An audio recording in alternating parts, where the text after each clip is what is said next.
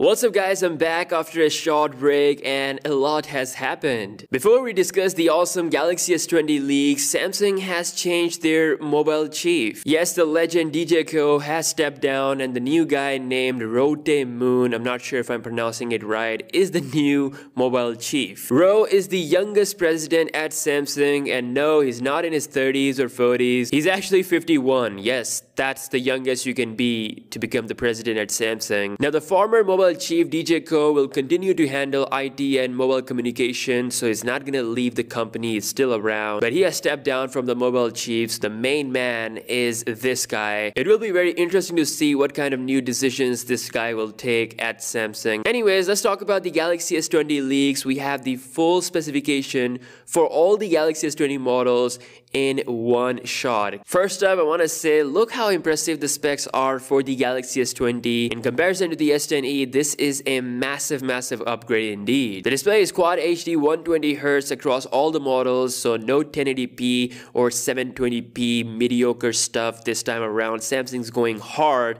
on the display. The S20 Ultra is perhaps the heaviest Samsung flagship smartphone coming at 221 grams, which is still slightly less heavier than the iPhone 11 Pro Max Max. All the models sport micro SD cards so you can comfortably record those 8K 30 FPS video with no problem at all. The camera specs that we already know are now further confirmed. They're looking absolutely insane. The Ultra model gets the exclusive custom 108 megapixel Samsung sensor. The S20 Plus and S20 on the other hand will get 12 megapixel sensor. It is an improved one. It will have massive improvement in terms of low light capabilities. What I really like here is the use of high resolution telephoto lens. So Samsung is using 64 megapixel for the S20 and S20 Plus and 48 for the Ultra model. This will definitely bring sharper portrait images compared to the softish look of the previous models. And perhaps the biggest wow factor in all of this is the new wide 40 megapixel front camera. Notice that it says wide which means that it's gonna be wider than the front camera on the S20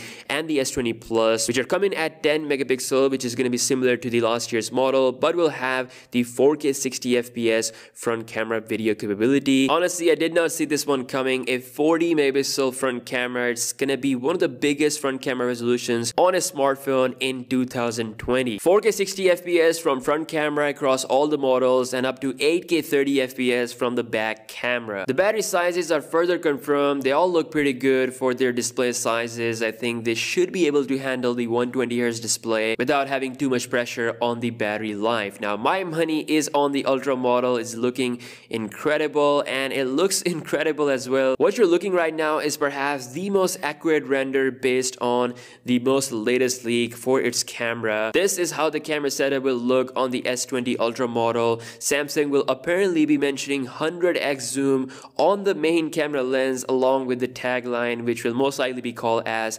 space zoom. Now this is again not the official press render or anything like that. It is based on leaks, but it is the most accurate S20 The ultra look you can find on the internet right now. So the S20 Ultra can perform 10x optical zoom with up to 100x digital zoom, whereas the other two models can only do up to 30x digital and 3x optical zoom. Most of the stuff that we talked about in the leaks came out to be true, but one thing that didn't was the new fingerprint scanner that Qualcomm announced last month, which allowed you to have more than one finger registered and have a bigger screen area registration. So the fingerprint sensor area will be similar to the S10 family. Maybe something bigger will be planned for the Note 20 model later down the year. Now in case you don't know, Galaxy Z will be coming officially right alongside the S20 family on February 11th. We actually have a leaked promo image coming from an unknown source. We're not sure how legit this is, but yeah, this is out there. It's a bit different from what we have seen. It's showing a device with a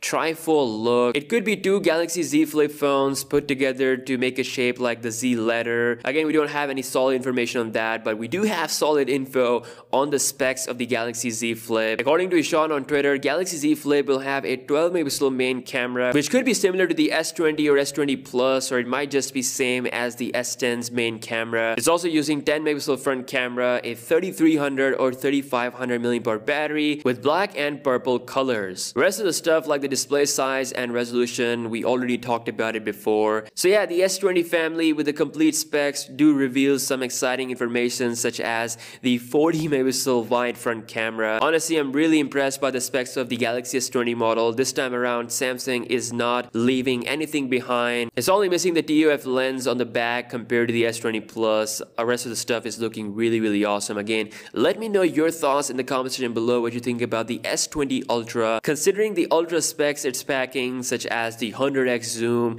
and the new front camera, would you be spending all your money on that? Let me know your thoughts and I'll see you guys in the next one. Peace out.